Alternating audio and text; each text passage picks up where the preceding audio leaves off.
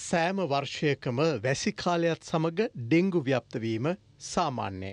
Dengue කරමුලටම ආපසු තමයි dengue මර්ධනය මතක් වෙන්නේ. ඩෙංගු මර්ධනය සඳහම වෙන් වූ ආයතනයක්ද තිබෙනවා. ඩෙංගු මර්ධනය හුදෙක්ම රජයකට හෝ ආයතනයකට කරන්නට බැරි බව සත්‍යයක්. ඒ සඳහා නිවැරදිව ජනතාව පෙළගස්වන්ට ඕනේ සහභහි කරගන්නට අවශ්‍යයි. සෑම විටම පෙර සූදානමක් නැතුව ඩෙංගු ව්‍යප්තිය කට ළඟටම ආවහම ඩෙංගු මර්ධන සති මාස ගැන කතා කිරීම සාමාන්‍ය පුරුද්දක් බවට පත්වෙලා. සෑම වර්ෂයකම වැසිකාලයට පෙර දීපව්‍යප්තව පිරිසිදු කිරීමේ ක්‍රියාවලියක් හඳුන්වාදී යුතුව තිබෙනවා. දැන් මේ වන විට ඩෙංගු රටපුරාම ව්‍යප්තවෙමින් තිබෙනවා. පසුගේ වසරෙද්දී සෞඛ්‍ය අමාත්‍යංශයේ විශේෂ චක්‍රලේඛයක් නිකුත් කර ඇති බවයි රවි කුමු දේශ පවසන්නේ. එහි සඳහන් ඇත්තේ වසංගත තත්ත්වයක් නැතිව දූමායනය කරන්නට එපා කියලයි. මේ වැරදි තීන්දුවක් බව පවසන රවි කුමුදේශ පෙන්වා දෙන්නේ සැලසුම් සහගතව දූමායනය නිවැරදි ආකාරයෙන් කළ යුතු බවයි. දැන් සෞඛ්‍ය අමාත්‍යංශයේ මේ නිකුත් කරපු චක්‍රලේඛය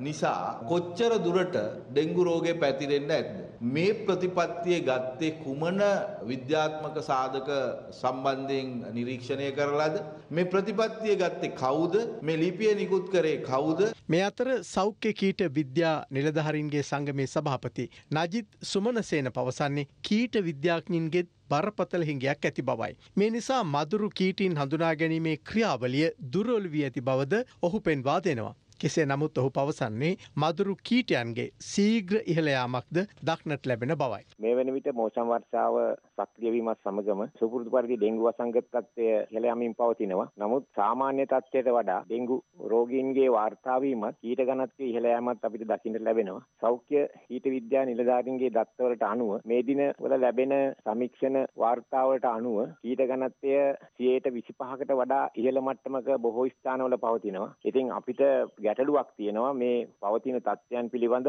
අපිට පරීක්ෂණ කරන්න ප්‍රමාණවත් නිලධාරීන් නොමැතිවීම විශාල අඩුවක්. රසායනාගාර අංශයේ කටයුතු කර ගැනීමට නිලධාරීන් අඩුවීම තියෙනවා. ක්ෂේත්‍ර නිලධාරීන් වශයෙන් කටයුතු කරන නිලධාරීන්ට සහායක සෞඛ්‍ය කාර්ය සහායකයින් ක්ෂේත්‍ර මදුරු මර්ධන නිලධාරීන්ගේ අඩුවක් තියෙනවා. ඉතින් මේ සියල්ල පවතින තත්ත්වයන් තුළ රාජකාරී කටයුතු කර ගැනීම ඉතාම අපහසු තත්ත්වයක් තියෙනවා. වසංගත තත්ත්වය පාලනය කර ගැනීමට මේ සියල්ල එක රාශී කරගෙන ක්‍රමවත් වැඩපිළිවෙලක් සකස් කරන්න අවශ්‍ය වෙනවා.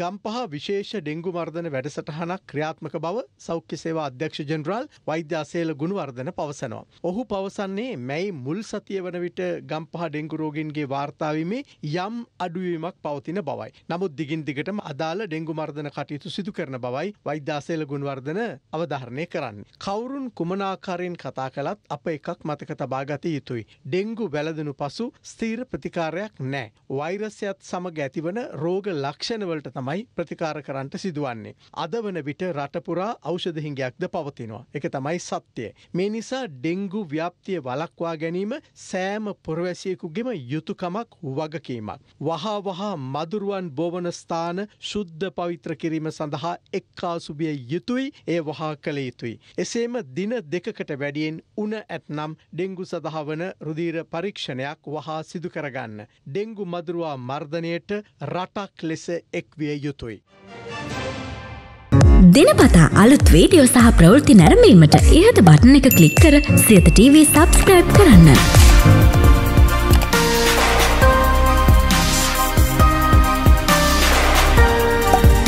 අලුත් වීඩියෝ ගැන මුලින්ම දැනගන්න මෙම සීනුව ක්ලික් කරන්න.